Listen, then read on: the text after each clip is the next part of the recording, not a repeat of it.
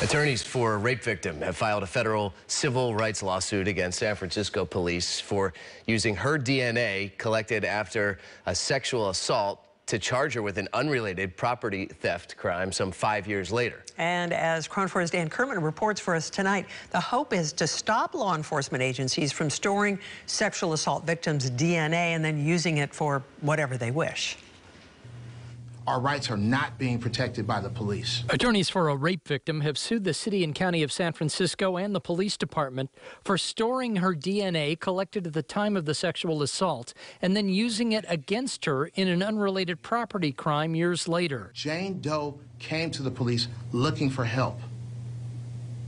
She came to the police looking for them to do right by her.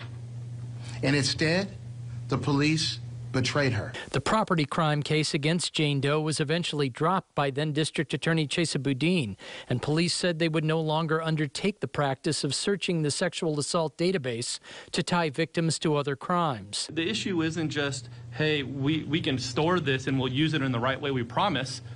Well, you, we, you've already proved that you won't do that. The original contract was, hey, here it is, use it for prosecuting the person that, that victimized me, and they already broke that promise. In fact, attorneys believe there may be thousands of other victims.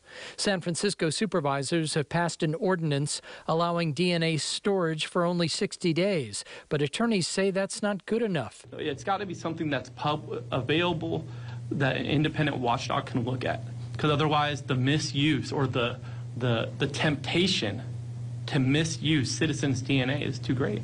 State Senator Scott Wiener has a stronger bill awaiting the governor's signature, but this lawsuit will proceed either way. Dan Kerman, KRON 4 News.